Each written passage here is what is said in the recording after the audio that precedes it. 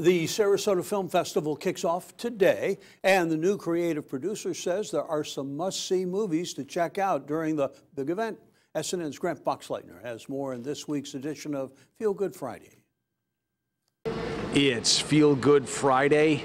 Right now, we are here at the Hollywood 20, and this is the box office for the 17th annual Sarasota Film Festival. And you can feel all of the hype in the air. This is going to be a big event, and we're privileged now to be joined by the creative director, Michael Dunaway.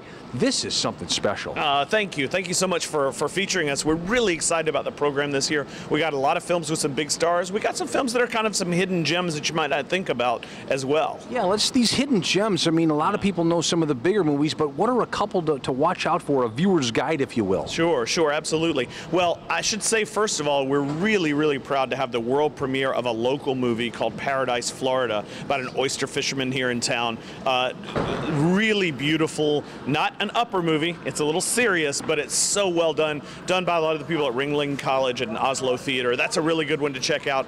Um, I would also recommend checking out um, Ondi Timoner's fantastic documentary Brand about Russell Brand, the comedian yes. turned social activist.